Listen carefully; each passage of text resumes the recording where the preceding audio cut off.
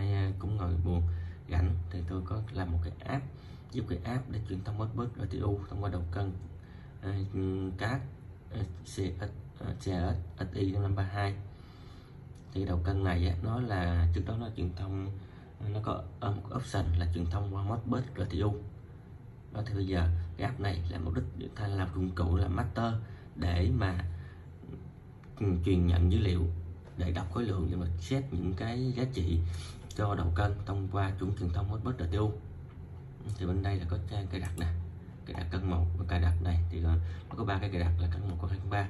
Ở xếp một xếp hai xếp ba, xin lỗi các bạn. Ở đây tôi như cái app này dùng để cái cài đặt kết nối hai cân này để test, để với hai cân thôi. Ừ. Thì mục đích của cái app này là vậy, nó gồm có hai trang. Trang là nhất là cài đặt xếp một xếp hai xếp ba và cái trang chính là nó sẽ đọc được cái nó chạy thì đọc cái lượng thực tế về. Cho cho, cho thấy được cái khối lượng cái khối lượng hiện tại để chúng ta test cái đường truyền xem có bị lót hay không data truyền về có nhanh hay không và có bị miss chỗ nào hay không. Ừ, Khi à, có lượng đọc về nó sẽ hiển thị trên đây. Ừ, rồi số lần truyền nhận thành công thì nó sẽ hiển thị ở trên ô này. Hiện tại chính là nó chạy nó sẽ không nha các bạn. Cái mục đích của cái app này là vậy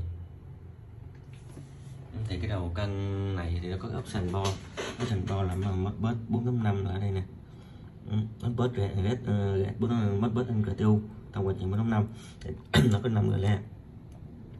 Thì có ba cái ngõ là ba le này. Thì cái mục đó cái nguyên tắc hoạt động của nó.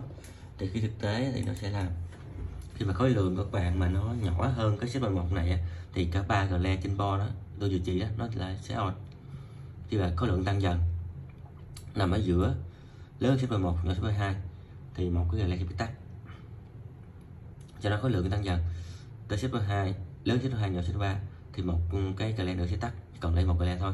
Và khi khối lượng đạt được cái ngưỡng là shipper 3 thì ba gà lay sẽ tắt quá trình lặp lại. Rồi thì bây giờ tôi bật nguồn lên. Đấy.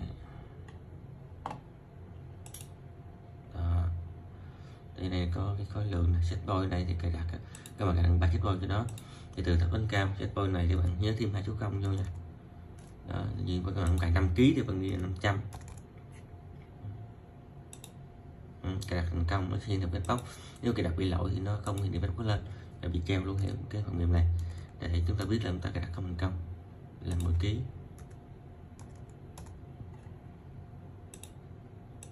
thành công em rồi thứ ba là chục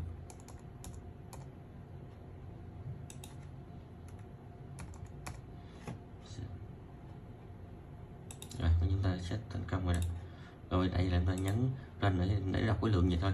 Thì hiện tại chỉ có một kết nối được với một đầu cân. Thì hiện tại có như một đầu cân á ta chỉ đọc về được một, một cái thôi. Đầu cân này nó rất không rõ. Nhấn như luôn cái đó hiện tại gần là không nè.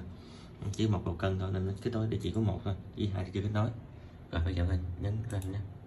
đó còn thấy nè. Hiện tại đang có lượng nó đang nhân tăng lên. Thì ở đây nè cái số có số lượng truyền nhận nè nó thành công thì nó tăng tăng tăng tăng, tăng lên nè nó bị treo tức là có một cái cái cái thằng nào đó không có trả lời, hoặc là gửi đi sao đi thành công. Ừ, thì bạn sẽ dùng tay cho nhấn lên đây cho anh hoạt động nó tăng tương như gà le nó sẽ hoạt động đúng nguyên tắc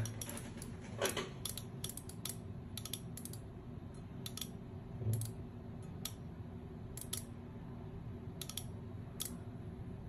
ừ, thì cái đầu cân nó nhảy. Giờ bạn câu trên khối lượng như này nó nhảy nè đó, nó chỉ nhận cũng rất là nhanh.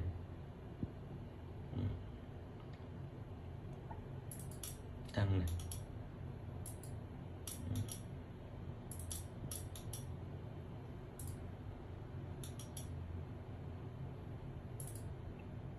Ừ. Buông ra nên đang sáng mấy nè buông ra.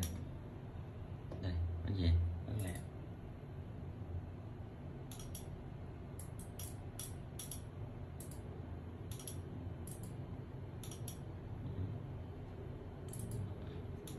cái lượng truyền nhận cái cái ờ, lượng truyền nhận data này nó luôn tăng. Tức là nó nó không ờ, tức là quá trình truyền nhận là, là gọi là thành công nó không có bị loss data. Các bạn lưu ý là này truyền thông thông qua Modbus RTU nha.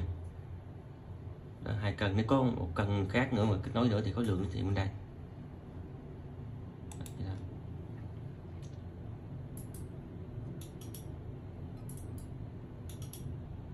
Rồi. Cái cái cái nội dung của cái app này là dùng để như vậy thôi dùng mới chuyên nhận ta vậy thôi.